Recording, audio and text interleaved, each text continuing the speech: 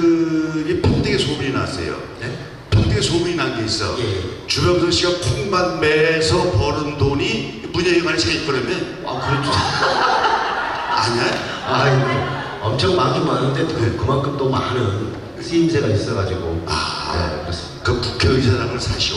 아이, 그래 다 내쫓아. 다른 분들 다일 했으 니까. 네, 그렇습니다. 아이 오래간만입니다. 여기. 아, 아, 여기 네. 와가지고 아까 그 제가 좀 일찍 왔습니다. 일찍 왔는데 이 평택가요제 같은 경우는 웬만한 가수분들이 게스트로 나오고 노래를 못 부르겠어요. 아유 그래. 참가하신 분들이 워낙 노래를 잘하시니까 음. 어, 웬만큼 노래 좀 이상하게 하면은 창피하실 것 같아요. 예. 그 이번에 초대 가수 누구로 해야 되느냐 해서 저거 있잖아요 여론조사. 아, 예, 예. 그래서 주병전 씨가 네. 45만 표. 아, 예. 그 다음에 김영욱이가 12표. 아, 예. 그래서 당선된 거예요.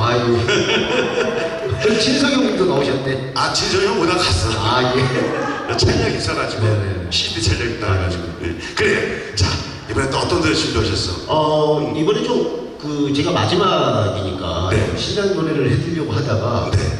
얼마 전부터 이제 그 역주행하는 곡이 있습니다. 아, 네, 그래요? 그 사랑의 콜센터를 통해서, 음. 우리 그, 정동원, 제일 막내 정동원도 이 노래를 불렀고, 네. 장민호 후배도 이제 이 노래를 아. 불렀어요. 지금 이게, 어, 드라마 하얀 거짓말에 이제 삽입됐던 노래인데, 들꽃이라는 노래를 불러드리려고 마지막. 아, 그 노래를? 사실 이 노래도 어, 이 얼마 전에 네. 이번 주 그 화요일 날 제가 그 화요일인 밤이 좋아 어, 그 출연을 해서 나왔었거든요 26일 날. 아, 이 노래가 주병규 씨 노래였어요? 예, 예, 거기 아니, 나는 정동원이 노래인 줄 알았어. 아, 아, 앨범에 이번에 새로운 앨범에 네 번째로 또 수록이 됐어요. 아, 그래요? 아, 이. 노래, 허락을 어디 가든지 이 노래 꼭 불러. 그 선생님 저 해도 되겠습니까? 아 해라고. 아, 그래. 그래서 오늘 이 시간을 통해서 어, 들려드리려고 합니다. 정동원이 키운 게 우리 공소제 회장님이에요. 아 그렇구나. 어버 키웠잖아.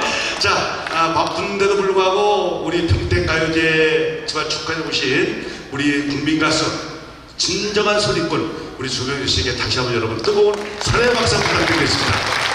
들고 들려드리겠습니다.